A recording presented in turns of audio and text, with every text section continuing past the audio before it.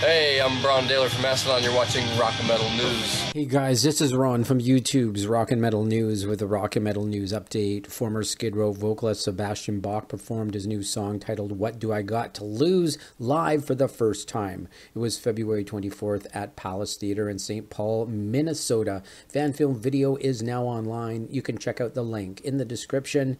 And a huge shout out to Melvin Zoopers YouTube channel for posting this. Uh, some great audio and video for it for sure. You can also check out the official music video in the link in the description as well. Bach released the music video back in December of 2023.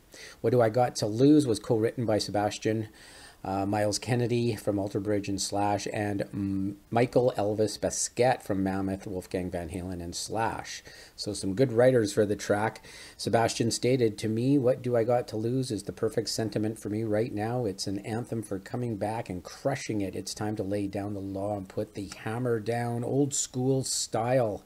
Check it out. Let us know what you think of the song in the comments. This is Ron from YouTube's Rock and Metal News. Thanks for tuning in.